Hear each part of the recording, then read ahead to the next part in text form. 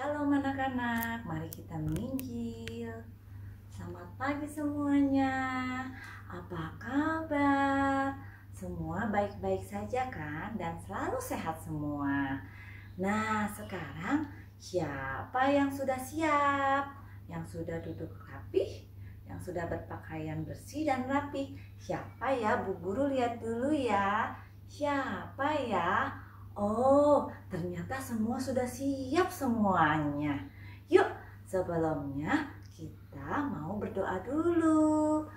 God is listening, God is listening when we pray, when we pray. Close your eyes so nicely, put your hands so quietly. No, we'll pray. No will pray. Allah Bapa yang di surga, terima kasih Bapa untuk setiap berkat yang kau curahkan kepada kami semua. Bapa, sebentar lagi kami akan memulai untuk ibadah sekolah minggu di hari ini. Kiranya kau berkati Bapa ibadah kami dari awal sampai akhir Kiranya ibadah ini dapat berkenan di hadapanmu. Terima kasih Bapa, dalam nama Yesus Kristus kami berdoa. Amin. Nah, apa kabar semuanya? Yuk, sekarang kita akan menyanyikan dua lagu. Yang pertama, lagunya Jesus Love Me dan yang kedua Behold. Yuk, bangun semuanya. Yang semangat ya nyanyinya.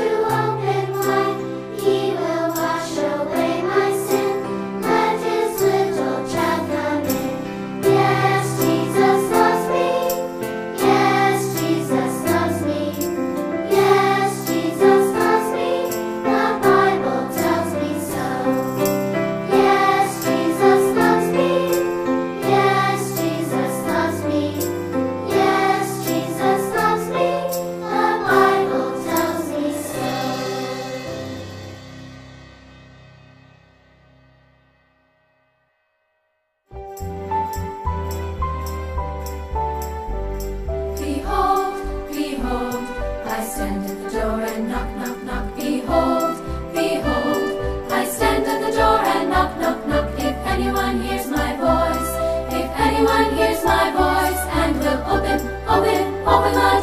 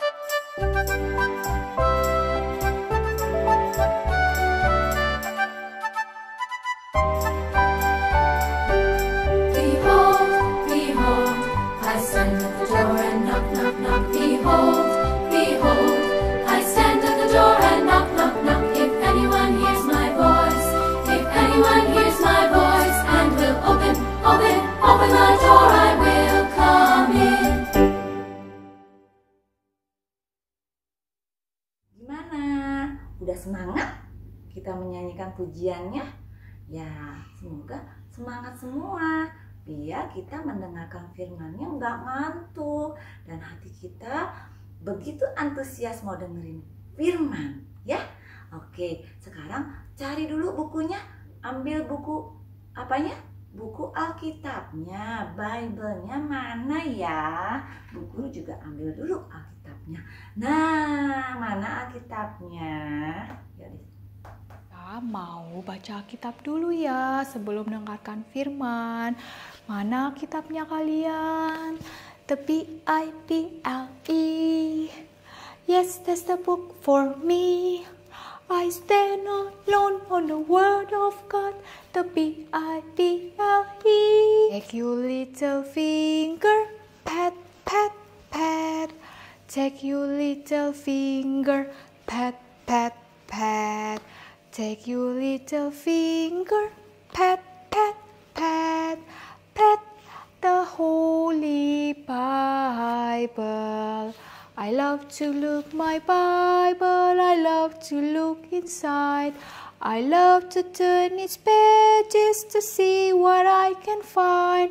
I love to look my Bible, I love to look inside. That's God's words on the Bible, and that is what I find. Ini kita akan mendengarkan firman yang dibawakan oleh Bu Guru Vera dengan judul Kelahiran Yohanes Pembaptis. Sebelumnya kita baca dulu yuk dari Alkitab ayatnya. Yuk. Lukas 1 ayat 76. Dan engkau, hai anakku, akan disebut nabi Allah yang maha tinggi, karena engkau akan berjalan mendahului Tuhan untuk mempersiapkan jalan baginya. Amin. Nah, sekarang sebelum mendengarkan firman, kita berdoa lagi ya. Tanganku ada dua, lima-lima jarinya. Kulipat bersama-sama, mari kita berdoa. Allah Bapa, sebentar lagi kami akan mendengarkan firman-Mu.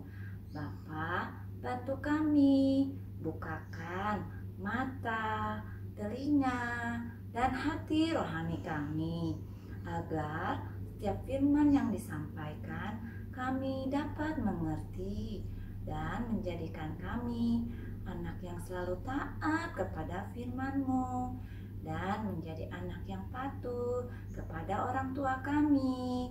Bapak, berkati Bu Guru Vera yang akan menyampaikan firman-Mu agar setiap firman yang disampaikan dapat sesuai dengan kehendak-Mu. Terima kasih Bapak, dalam nama Yesus Kristus kami panjatkan doa ini. Amin.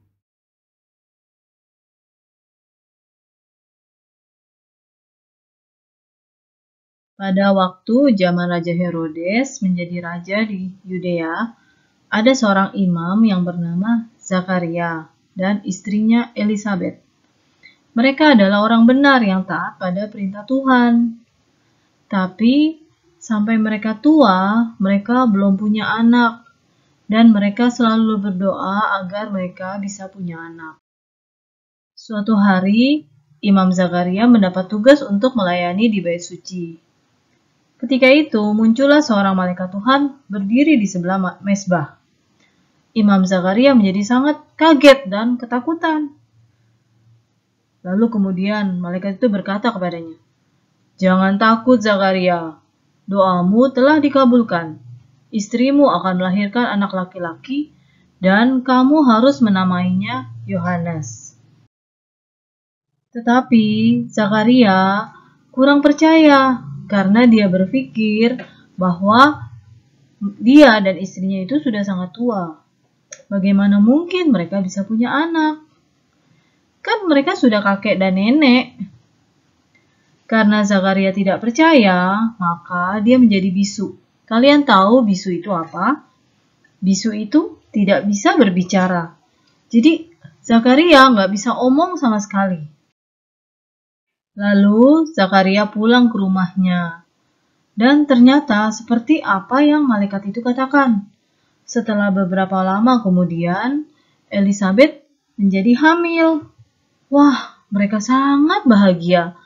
Dan ketika bayinya lahir, tiba-tiba Zakaria bisa bicara lagi. Lalu dia memberikan bayi itu nama Yohanes. Nah, Yohanes ini dia lahir enam bulan sebelum Yesus. Yohanes lahir duluan karena dia ada tugas besar yaitu dia nantinya akan menyiapkan orang-orang untuk menyambut kedatangan Tuhan Yesus. Anak-anak, sebentar lagi kan adalah hari Natal kan? Itu adalah hari Tuhan Yesus lahir. Jadi kita juga harus bersiap-siap untuk menyambut kedatangan Tuhan Yesus. Ibu guru berdoa agar kalian semua mempunyai iman yang hanya percaya dan pegang firman sampai akhir. Mari kita berdoa. Allah Bapa, kami sangat bersyukur pada hari ini. Kami mau menyambut kedatangan Tuhan Yesus. Bapak, tolong bantu kami agar kami bisa punya iman yang percaya hanya kepada firman sampai akhir. Dan berikan kami hati yang selalu taat pada firman Tuhan. Bapak, sebentar lagi kami mau memberikan persembahan. Tolong berkati persembahan kami agar bisa dipakai di dalam pekerjaan penebusanmu. Kiranya Bapak berkati juga Papa Mama yang sudah mempersiapkan persembahan kami agar bisa dipakai sesuai dengan kehendak Bapa. Terima kasih Bapa, hanya di dalam nama Tuhan Yesus Kristus kami panjatkan doa ini dengan ucapan syukur. Amin. Nah, gimana? Semua sudah mendengarkan firman-Nya? Semua mengerti? Semua tadi duduknya fokus dengerin firman? Nah, semoga uh, semua dengerinnya sungguh-sungguh ya. Oke, sekarang kita tutup dengan doa Bapa kami. Bapa kami yang di surga, dikuduskanlah namamu, datanglah kerajaanmu, jadilah kehendakmu di bumi seperti di surga.